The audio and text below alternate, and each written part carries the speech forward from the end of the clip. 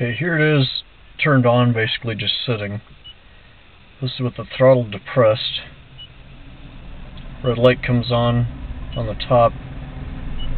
Well, the whole display went out. I'm holding it steady.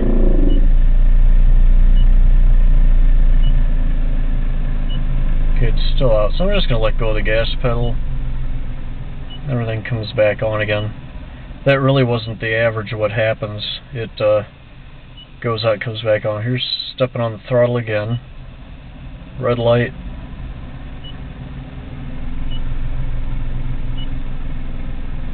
And normally it would turn back to green eventually. Try it one more time. I let go of the gas.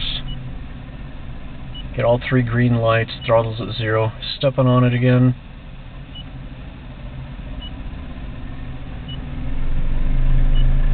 There, uh, have. Alright, I gotta let go of it. But once I got up to a certain point, the green lights came back on again. I let go of it, we had a red light. Oh, we got a red light again. It's really weird.